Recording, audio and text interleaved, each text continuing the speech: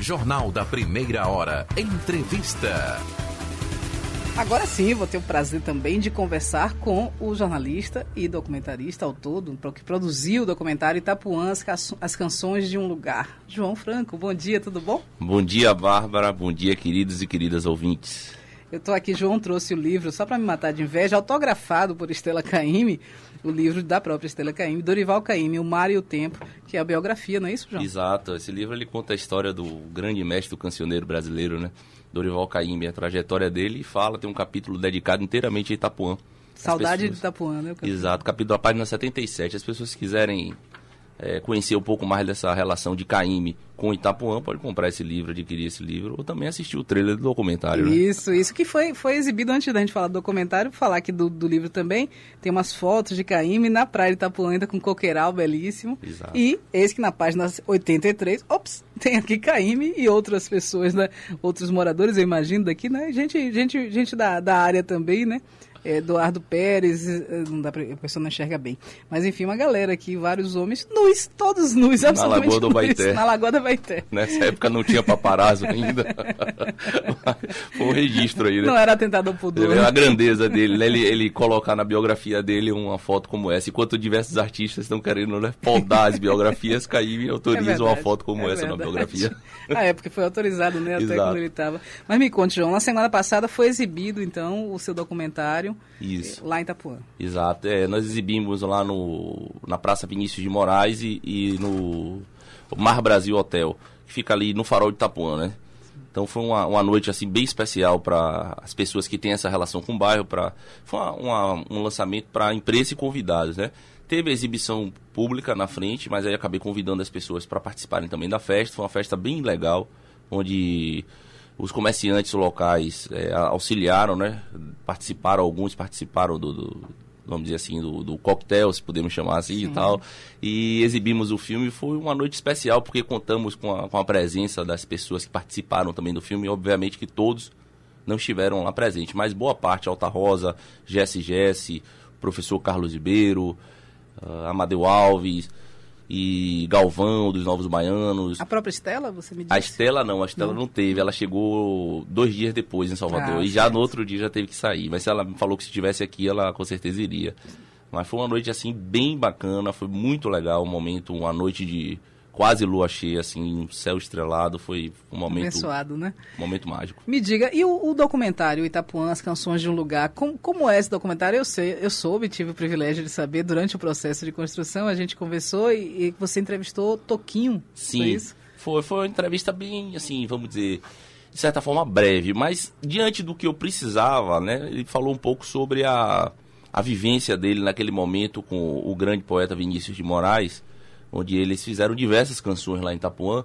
E ele me relata que ele relatou que naquele momento eles só faziam é, comer, né? Fazer música e ir à praia. então, era Essa um vida dura que eles tinham. vida dura. Era um momento assim, bem, vamos dizer assim, rico, né? Onde o, onde o, o, o poeta Vinícius de Moraes, ele criou muito, né? Jesse Jesse também me conta isso. Por isso que era bom passar uma tarde em Itapuã. Exatamente, né? Passaram, acabaram passando uma, uma, boa temporada, né? Passaram alguns anos lá, nessa tarde rendeu, viu? e tem, e, o documentário, ele conta a história, digamos, da, da, da do, desse cancioneiro nacional com, com o bairro de Itapuã, que você, você é de lá, né? Né? Você Isso. nasceu e foi criado lá? É. Na verdade, assim, eu, eu, nasci em Brotas, né? Porque não tinha maternidade então, lá em Itapuã, então eu nasci em Brotas. Mas muita gente nasceu em Itapuã, de Nasceu no Iperba? Nasci no Iperba. Olha, Jota também, Jota Júnior também, soube disso ontem. 1977. São vizinhos de berçário. então, o documentário, ele, ele busca é, é, narrar essa trajetória né, do bairro, né? O bairro, ele, ele, de certa forma, se desenvolve também através das canções de Caíme. Né? Ele, ele começa, vamos dizer assim, a aparecer no cenário é, é, nacional e, consequentemente, internacional através das canções de Caíme. Né? Caíme, ele, ele, chega em Itapuã no ano de 1931 e ele é, vivencia aquela realidade de uma vila de pescadores ainda, né? que era muito pouco, era muito pouco frequentada, o acesso era muito difícil, a pé, no lombo de um animal ou de saveiro, não tinha estrada. Então ele vivencia aquela, vamos dizer assim, aquele momento de inocência do lugar, né, vamos Sim. dizer assim. Então ele, ele se encanta com aquilo e ele interage, ele já tocava o violão, né? E ele aí começa a compor canções, né? Daí é que surgem as canções praeiras, né, que é bastante, a maioria são inspiradas nas vivências que ele teve em Itapuã. E ele, nesse próprio livro, né, que ele fez a autoria junto com a neta dele, que ele auxiliou a neta, ele cita isso. Ele diz que Itapuã ele permanece no imaginário dele por longas datas, né? Ele continua ainda por décadas criando através daquelas vivências que ele teve em Itapuã.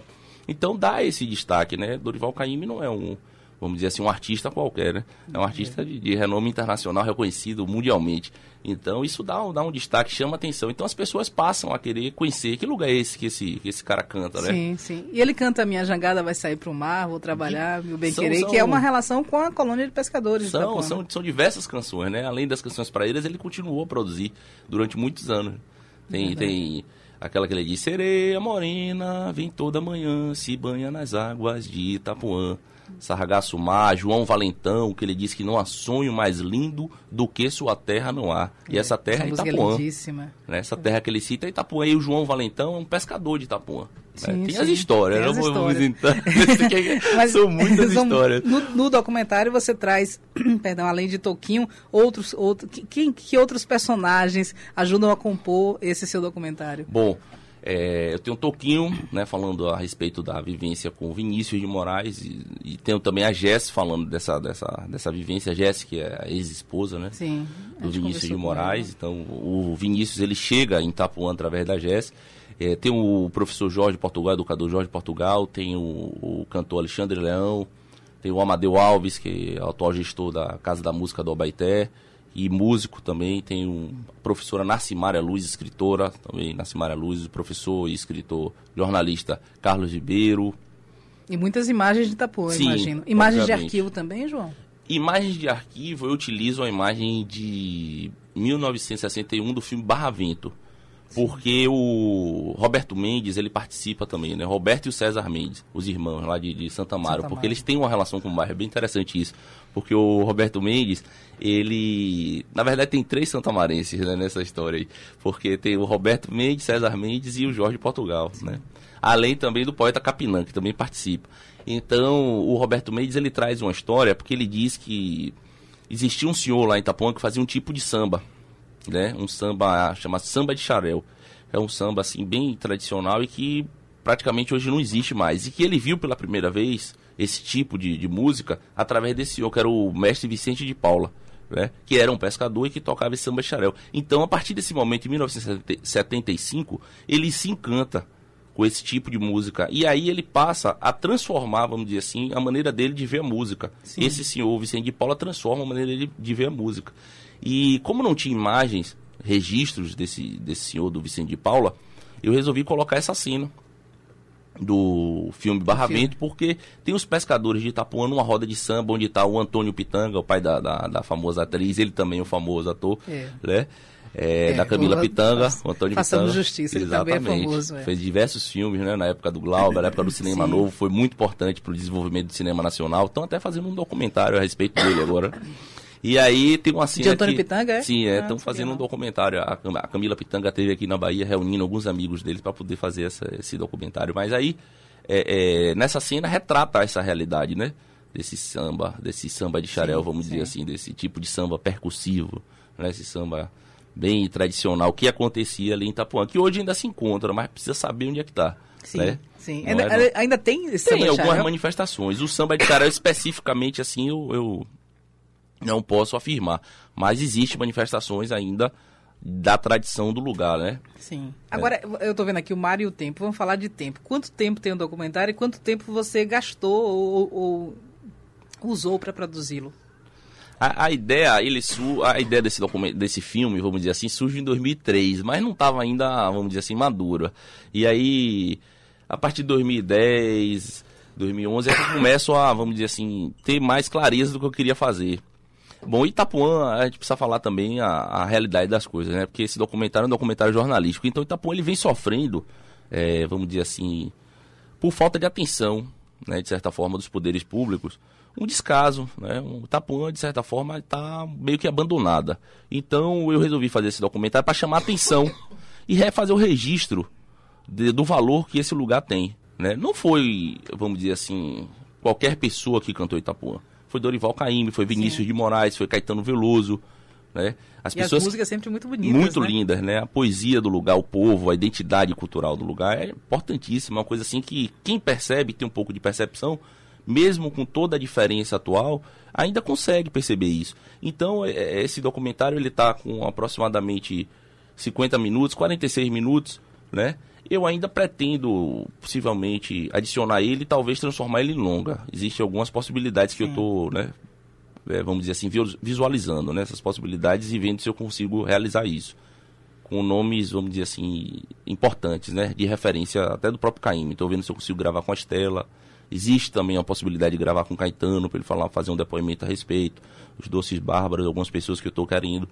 Uma das pessoas também que, que eu tenho interesse em gravar é o Perfilino Neto e o Antônio Risério. Sim. Mas está aberto ainda algumas gravações. Agora a obra, o, o documentário ele está completo. Se eu é, precisasse, vamos dizer assim, distribuir ele hoje, ele está feito. E quem quiser assistir hoje, faz como? Hoje só dá para assistir por enquanto o trailer. O trailer ele tá no YouTube. O tra...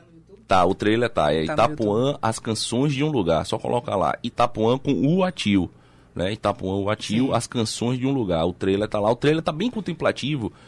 Quer dizer, assim, algumas pessoas até que eu mostrei, disse um trailer com 10 minutos. Eu, eu, eu quis colocar com 10 minutos porque a intenção é, com que, é que as pessoas tenham essa, vamos dizer assim, esse entendimento, essa compreensão do que é o lugar. Então Sim. eu coloquei para poder pontuar mesmo.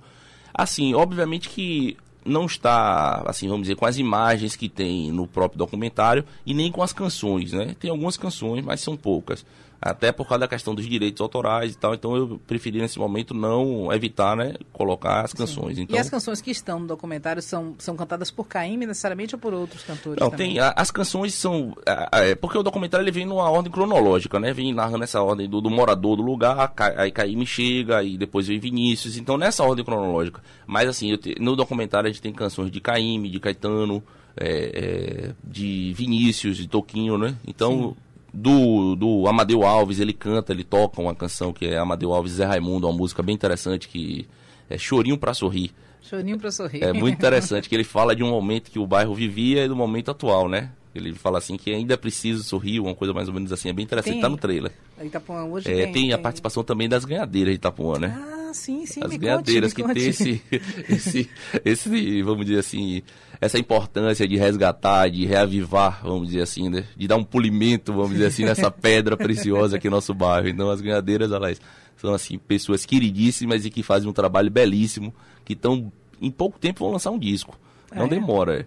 É. Demora, parece que ou antes ou depois da Copa, não tenho certeza. Estão para lançar esse disco aí com participação de Margarete Menezes, Mariane de Castro. Um disco bem bonito, foi gravado lá nos estúdios, no estúdio de Guilherme Arantes. O Astro do Sapo fica lá no litoral norte. Guilherme Arantes mora em Itapuã? Ele não, ele, não. Ele, ele morava ali por perto, ali perto de Lauro de Freitas, ali agora, mas ele agora mora lá, é, acho que em Barra do Jacuípe, onde ele tem um estúdio lá.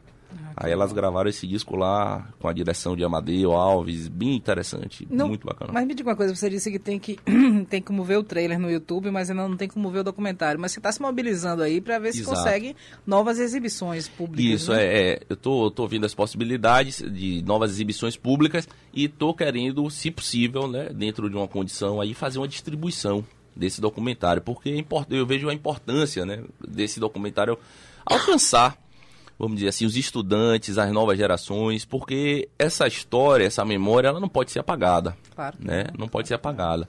Existe também, Bárbara, um grupo lá de Itapuã, que é a Juventude Itapuanzeira, que é um grupo de jovens que está fazendo um trabalho bem interessante lá, desse, vamos dizer assim, é, resgate, né, dessa, vamos dizer assim, participação coletiva da juventude nas atuações, nas é, vamos dizer assim, nos movimentos culturais, políticos do bairro. Sim. Então, eu estou querendo ver se eu consigo fazer essa distribuição, né? Mas para isso eu preciso distribuir, eu preciso de recursos, porque claro. esse documentário eu fiz do meu bolso, né? Corri mesmo, fui ao encontro do que eu estava querendo e Quanto fui lá João? aproximadamente assim, uns, com equipamento com tudo entre 25 e 30 30 mil, mil reais, é, porque é, é, equipamento de gravação, máquinas, é computador, é, caro, né? é não é barato. Se a pessoa já tem uma estrutura, sai mais barato, né? Mas assim, com transporte, precisei trazer algumas pessoas para poder gravar.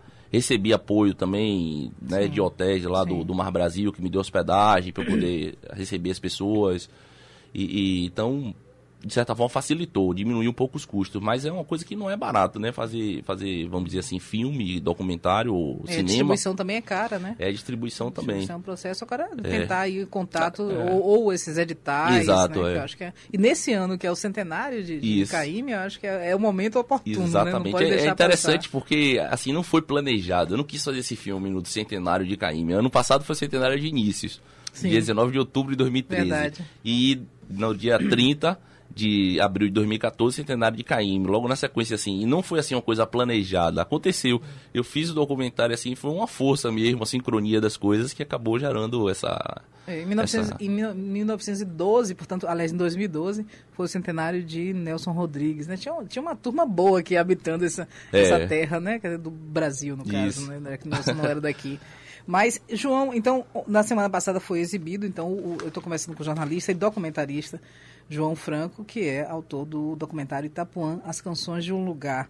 Quais são as perspectivas para novos documentários nessa linha? Você gostou, tomou gosto pela ah, coisa, quer fazer outras biografias? É, é, é uma área bem interessante, né? documentários? É uma área, essa área ligada à cultura, à música, é uma área bem interessante, porque, principalmente aqui da Bahia, em Salvador, né? E lá em Itapuã ainda, né? Tem muita coisa em Itapuã a ser explorada. Aqui em, em 46, 50 minutos, não dá para explorar dá. tudo. É uma Verdade. história, é muita gente. Então, eu pretendo sim fazer. Estou com algumas ideias, mas eu, eu de início assim eu quero focar um pouco nessa questão da distribuição desse produto agora sim. que está pronto, né? Do Itapuã as canções de um lugar. Eu quero focar um pouco nisso aí agora, mas logo logo eu devo estar tá criando alguma coisa nova aí, com fé em Deus. Então os empresários de Itapuã ou de qualquer outro bairro daqui de Salvador ou da Bahia que estejam nos ouvindo, como é que eles fazem para entrar em contato com você caso queiram ajudar e contribuir? Na realidade não ajudar, porque na realidade é uma troca, né? Quer dizer, investir na distribuição do, do produto. Bom, através de meu e-mail, né, que é João Eduardo Jorge, tudo junto, arroba hotmail.com ou através mesmo do telefone, né? Do meu telefone que é o 9273 2281. Você repete o telefone? 9273 2281. E antes da gente terminar esse papo, João, eu queria saber qual é a sua música predileta que canta Itapuã. Olha, é, tem duas assim, né? São tantas, né? Mas assim. Eu sabia que é difícil escolher uma. é muito difícil, muito difícil. Assim, mas as que tocam no meu, no meu sentimento, assim. É João Valentão, não é porque leva o meu é, nome, né? Não, que nada. e olha que é eu porque... conheço a fama, viu? De Valentão. João Valentão, porque tem muito assim também a ver comigo um pouco. João, João Valentão, que eu acho que bem. bem quase inter... autobiográfica. Bem né? interessante. É quando chega a tardinha. É muito linda essa é música. Linda essa música. Então, é... e tem também uma música que me faz, assim, assim, me emociona, que é de Caíme também, que é Saudade de Itapuã, né? Porque existe, né? Quem ama, quem gosta desse lugar de Itapuã, sente essa saudade, vamos dizer assim. Eu peguei o resquício do, da época de ouro. Eu nasci Sim. em 77, peguei o final da década de 70 o início da década de 80, que ainda era um lugar assim, pacífico, mais ordeiro, mais organizado. E infelizmente a gente hoje precisa é, buscar um esforço coletivo, né, para melhorar esse lugar, fazer que esse lugar volte a, a ser um lugar reverenciado, né, que seja um lugar assim festejado e, e bem frequentado, passado, né? exatamente. Né? Seu, Porque a beleza história. tá ali, né? A beleza tá ali. Isso o professor Carlos Ribeiro no documentário ele fala com bastante clareza, é muito é. lindo. J. Júnior te dando uma, uma moral. É isso. Na voz de Nana, você Na quer me matar, Jota Júnior. Jota Júnior, assim, eu vou pro fim de semana leve, leve, leve. João, muito obrigada por ter vindo aqui. Parabéns pelo trabalho. Eu quero ver, viu? Eu quero ter sim, esse sim. privilégio, porque eu não pude ir Certeza. na exibição na semana passada, porque eu tava trabalhando, mas eu vou tentar ter esse privilégio. Vou daqui, usar o, a, a, minha prerrogativa. Eu me sinto, me sinto bem satisfeito com essa entrevista. Agradeço aí toda a equipe da Cultura FM e AM. Muito obrigado. Okay, obrigada, João. Vamos a, terminar nos despedindo ao som de Saudade de Itapuã, a linda voz de Nana Caymmi. Você que nos ouviu, muito obrigada pela audiência. Tenha um grande fim de semana. Já tinha um beijo, Josi. Beijão. Beijão. E a gente se vê na segunda-feira. Boas notícias daquela terra toda manhã e jogue uma flor no colo de uma mulher